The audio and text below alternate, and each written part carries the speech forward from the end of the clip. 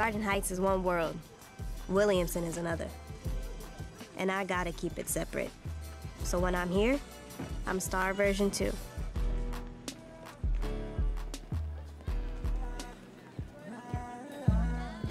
Say less, bro. That means flipping a switch in my brain. Williamson Starr doesn't use slang. If a rapper would say it, she doesn't, even if her white friends do. Hey, boo. Hey, how are you? I'm good, girl. Slang makes them cool. Slang makes me hood. Yo, those kicks are lit. Thanks. Space Jams. Williamson Starr is approachable. No stank eyes are yelling because Williamson Starr is non confrontational. Basically, Williamson Starr doesn't give anyone a reason to call her ghetto.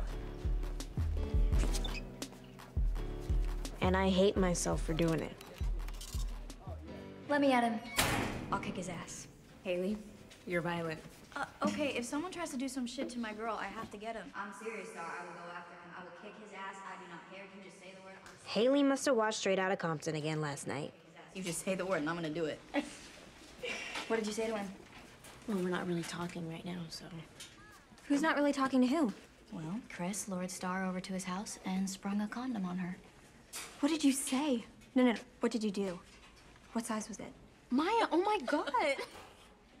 You're on a need to know, okay? And I need to know. Look, Chris is great, but I'm just not ready. And eventually I'll get there, but he just assumed. Assuming punishable by death. So, you're gonna Taylor Swift this. She doesn't even rank on the angry girlfriend scale anymore. Nah. I'm gonna Beyonce his ass. Watch.